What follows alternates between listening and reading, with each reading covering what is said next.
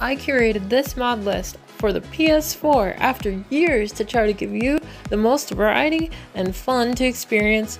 I started this project back in 2018 with the intention that you would be able to do what you wanted to do. If you wanted to be a Nord, you could have horns. If, if you wanted to have, you know, pink skin, and variety is the highlight of that.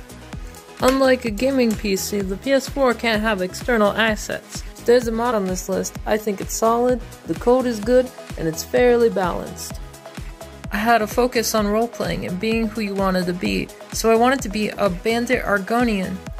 You know, if I want to wield one sword, throwing knives, two followers. Granted, you will have to use your imagination a little to keep it fair.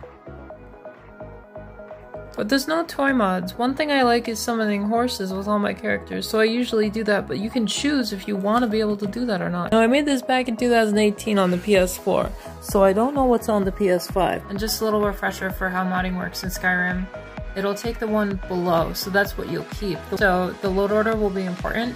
To be able to fit this all in, I'm gonna have to ask that you screenshot it to find what you're looking for. I'll go over the categories, but only go over the big mods or really effective ones, or niche ones.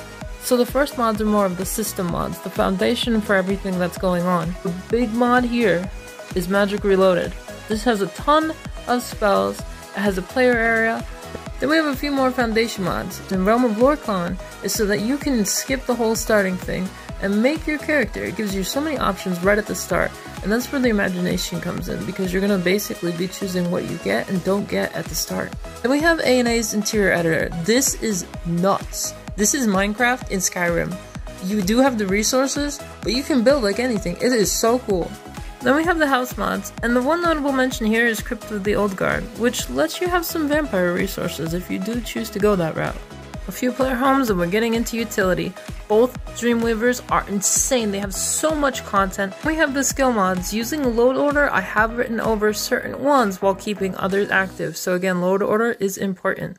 Some of these mods add tons of playstyle and aesthetics to the game. Here's one for the mages. This way you can have, you know, a lot of different variety with the spells you cast.